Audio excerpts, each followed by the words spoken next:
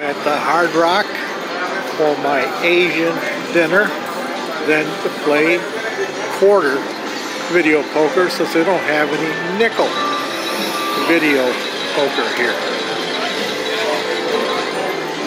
And again, I go along the wall like a rat because that's the shortest way to get there.